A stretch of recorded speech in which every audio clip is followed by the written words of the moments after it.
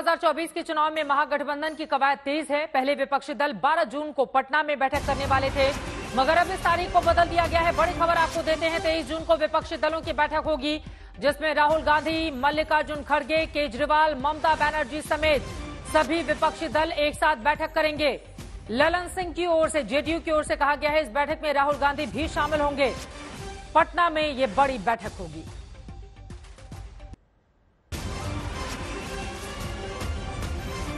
आप लोगों को आमंत्रित किया गया यह बताने के लिए कि 12 जून को पटना में विपक्षी दलों की एक बैठक आयोजित की गई थी, लेकिन उस तिथि को कई नेता, जो माननीय नेता हैं, मुख्यमंत्री हैं, कई, उनको असुविधा हो रही थी उस तिथि को यहाँ आने में।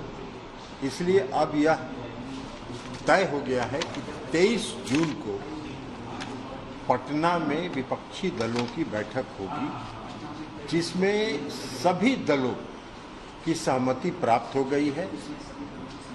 कांग्रेस पार्टी से श्री मल्लिकार्जुन खड़गे जी, जो कांग्रेस पार्टी के अध्यक्ष हैं, और श्री राहुल गांधी जी ने सहमति दी है उसमें आने के लिए।